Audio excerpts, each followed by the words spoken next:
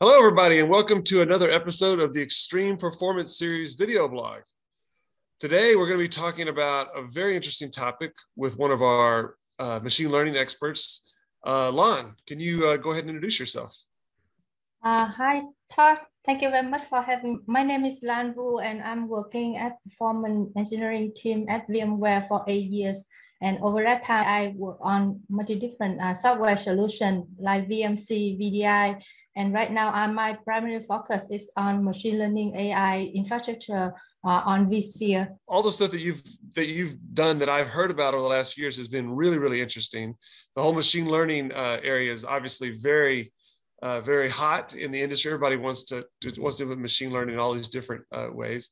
So, what are we going to be talking about today? specifically? Using machine learning AI workload in uh, vSphere uh, with NVIDIA AI Enterprise. And uh, we will go into some of like use case that help customer to choose better option uh, for, for their workload. Awesome. So they can make sure they're getting uh, the best performance by using the right, the right options. Yes. All right. So I think you probably got some slides to share. So let's, um, let's bring those up and get started. We will discuss uh, on how to choose the right vGPU profile for your uh, workload specifically on machine learning and AI workload. The differences between two options, vGPU and, and MIG. Um, and then uh, we will have three different set of experiments that to showcase uh, the benefit. Uh, as we can see, uh, two traditional option is vGPU profile. Then we have uh, another option enabled in, in vSphere platform, which is called multi-instance GPU. What is their differences and how they perform and uh, what should uh, you choose for, for your uh, particular use case. In case of A100 GPU, enable up to 10 VM uh, per physical GPU. And uh, with this option, memory is equally uh, partitioned among um, vGPU. Uh, for example, uh, with A100, 40 gig of memory, we can have 10 VM and each VM can uh, have 4 GB uh, per VM. On the VM, will share the GPU resource based on time slicing.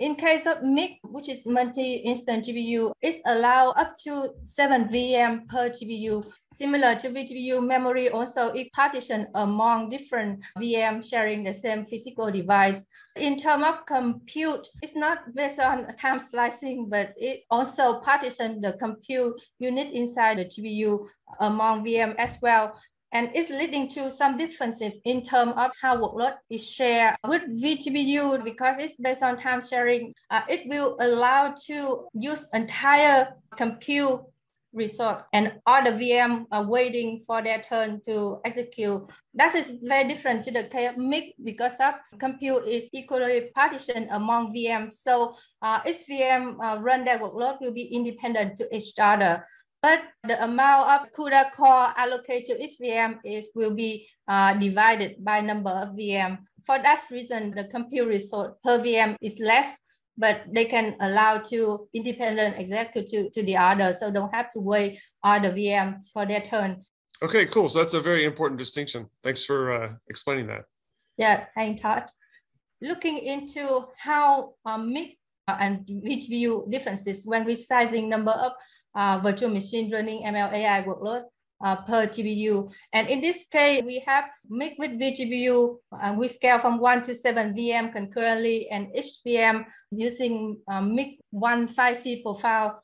In the, the other case with vGPU, then we also have similar uh, configuration uh, and uh, we use the 5, 5C profile, which is also 5 GB memory. We run uh, our experiment on um, Dell hardware platform uh, with A100 GPU and using ESX uh, 7.0 U3. Okay. Here's the result when we're sizing from one to seven VM for training workload. In this case, is Mask R-CNN workload. And you can see for the normalized training time here, the blue bar is vGPU and the green one is MIG vGPU for one VM here, we can see that some differences uh, in terms of uh, performance between uh, two options. Uh, but it's, it's very small in of one VM, but when we're sizing with more and more VM, the gap between vGPU and MIG vGPU uh, get bigger. Overall, when we scale more VM per GPU, MIG is from 4 to 80% better in terms of training time. And we observe similar option when we compare the throughput. In this case, we use uh, for Mask R-CNN, we use batch size, which is a lightweight workload. Do the same set of experiment, but for different workload. In this case, is machine learning inference. Uh, Mask R-CNN, we observe similar impact uh, in which that MIG provide better performance uh, up to uh, 129 inference time and uh, up to uh, 127 in terms of throughput better compared to uh, vGPU options. Should we choose MIG for my workload? Yeah, I mean, so based on on what we've seen, I, it looks like MIG mode is the way to go, and um, maybe you should just use it all the time. Is, is what I would gather from the last couple of slides. Yeah, that's also the, the very first impression that should go with MIG because it, it provides very clear, better choice. But let's go to the sum up next setup experiment. Okay, let's see. Let's see what the yeah. other tests look like. In this setup experiment, we do not in sizing number of virtual machine per GPU anymore, but we sizing the workload, which is we uh, run different uh, setup workload with different characteristic. And in here, we use the same Mask R-CNN uh, for easy comparison, but this workload run and utilize GPU is very different. For the lightweight that you use smaller batch size, less compute resource. Uh, and for moderate and heavy load, then it use uh, bigger batch size, and in the heavy load that it use batch size is eight, fully utilized GPU. And also because number of different uh, batch size per workload enable more VM to run the same workload. So we set the experiment in the way that try to stretch the GPU as much as possible so that like lightweight workload, we have more VM heavy workload, we have a single VM. And because of that, then the type of vGPU profile or MIG profile is also different based on the memory uses of the workload.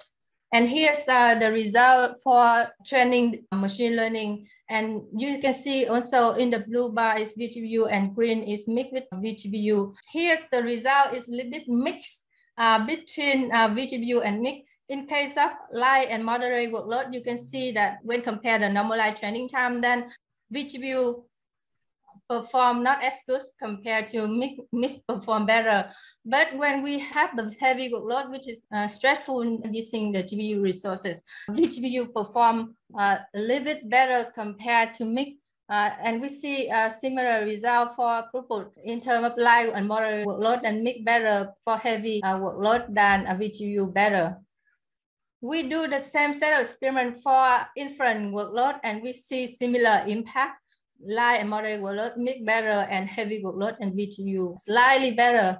It's not on the case that we should choose MIG, but in some case that vGPU can make a little bit better choice for your situation. Let's go to the next set of experiment. We ran type workload, not just uh, heavy in compute, but also uh, I/O intensive. And we choose IPsec uh, workload, which is a, a, network function virtualization application. We run this workload uh, from one to seven VM concurrently and using 5C profile for vGPU and um, one 5C profile for MIG, which is the same amount of memory uh, utilized by each VM.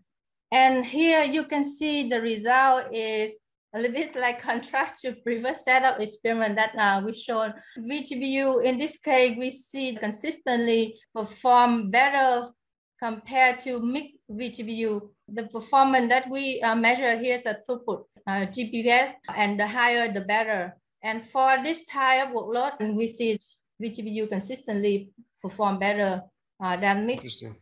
Yeah, and uh, you can see we go from the spectrum that MIG better on the time to the case that like MIG better than some case and vGPU better and, and the other case and this case that like vGPU is the winner for most of like tests that we have. Then uh, it can go to some of conclusion that we have for our presentation today. Based on our observation and our test with MIG, we observed that for lightweight workload, uh, MIG is the better option because it provides better performance when you have more VM per GPU, which also means provide a higher consolidation and reduce the MLAI infra uh, cost. For heavy workload, the difference is not too huge between vGPU and, and MIG uh, but we still observe vGPU slightly better in terms of performance. For the workload like network function virtualization, which both uh, compute and I/O heavy workload, then vGPU is um, a way to go. In case of when you don't know uh, what the workload characteristic of your application, then uh, we recommend that test with two options, and based on this, then choose the right one. Wow! So yeah, these this is really great uh, information, and I think uh, customers will be able to use this to uh, make better decisions and optimize their performance uh, when using uh, either vGPU or, or MIG mode. Um, is there any additional resources that are out there that we need to link to um, that that customers can get further information on this topic or similar topics? We uh, recently uh, published a blog and white paper on the same topic, and you can find it from uh, VMware um, Performance blog series, and uh, it will give you more insight on our experiment, uh, more guidance on how to choose the right profile. Okay, excellent. So yeah, we'll include those links. Uh, Lan, thanks for your time. It's been a really great uh, chance to learn a little bit more about this and uh, hope to see everybody on the other episodes of the Extreme Performance series as well. Thanks, yeah. everybody. Thanks, Todd. Nice to chat with you. Yes.